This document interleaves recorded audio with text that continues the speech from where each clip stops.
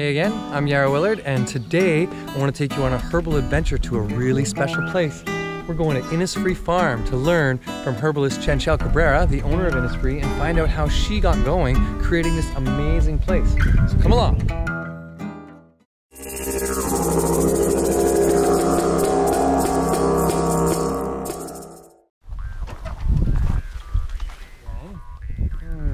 I don't know that it was a decision as much as a heartfelt something I had to do. I knew this from, from the beginning. I always knew I'd have this herb gardens and teaching and So you felt pulled to come? I felt pulled all the years in the city, all the years with Gaia Garden Herbal Apothecary, hmm.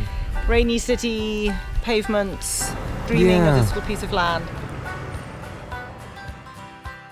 I see herbal medicine as a big thing. It's not hmm. just a bunch of potions in a bottle. Mm-hmm. It's not just extracts or pills.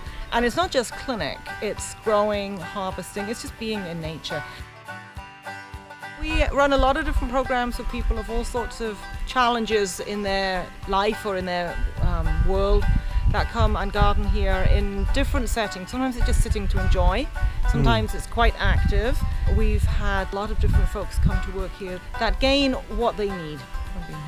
So we have about eight to ten interns a year. They live in with us, they learn with us, work with us, share our home and our food, three months at a time. Now we have a lot of other folks that come through, volunteers that come for sometimes two days a week, sometimes four days a week, sometimes sporadically, just all sorts of folks come through.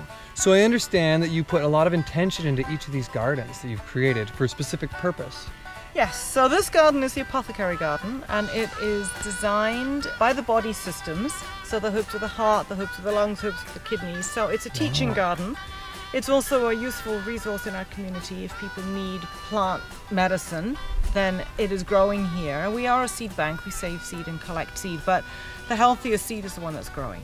Every year these things are growing up and they're available for people if they need medicine. I try and keep it in the in the body systems because it's a teaching garden. I can bring students, I can bring patients in here. Hmm. And part of the therapy is just being with the plants. Part of the therapy is just being with a plant. Sometimes I have them meditate with a certain plant that's a key plant in their formula. You know, we can talk about what's in their medicines so they understand mm. it better. And even sometimes take a cutting home, grow it just even on a windowsill to have a relationship with the medicine. It doesn't Wow. even have to be that they're going to make that, although there's some plants they could easily make their own stuff from. Sometimes I have patients arrive early or stay a bit late so that they can walk the labyrinth, especially arriving early and walking before the appointment. So they have clarified their intentions in the labyrinth before they come into the session. You grow all kinds of herbs. I grow you? all kinds of herbs. We've got a couple of hundred medicinal plants here now. And some of them are very obvious and common, like burdock and yellow dock, which I'm growing in this garden, although everybody thinks they're weeds. I'm like, no, no, no, we have not forgotten to weed those ones. It's deliberate. But then I have some like this, which is quite an unusual plant. Here is the name, maral root, sometimes called leuzea. And this is a plant that came from Russia. And the root is a very, very strong adaptogen. So it gives you strength and energy and endurance, builds up the adrenals. It's very anabolic. In fact, with this herb, you have to pulse it three weeks on, a week off, because it's so building and stimulating.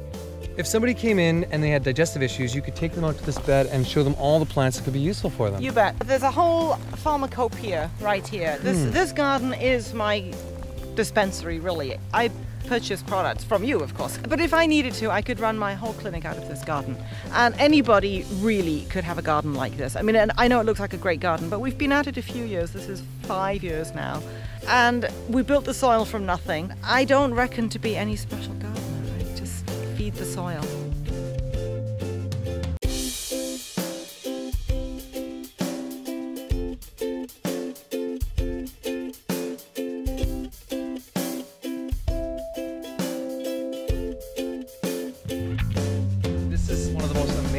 Gardens I've ever seen. It's quite the cornucopia, isn't it? We've got a little bit of everything in here, and I have to say it's not that difficult. We started with very poor soil. There was nothing, absolutely nothing. Actually, this was a gravel area hmm. here.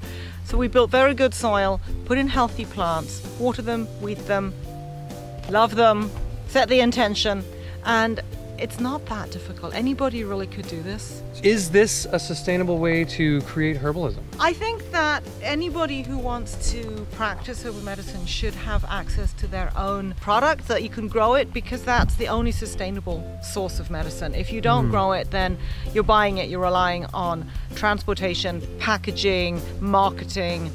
Growing it is really the most sustainable way to do medicine. From a grower herself, from someone who owned a dispensary turned into a farmer, Chanchal Cabrera, thank you so much for Thank joining you. us. Thank All right. you. so good to come to the garden.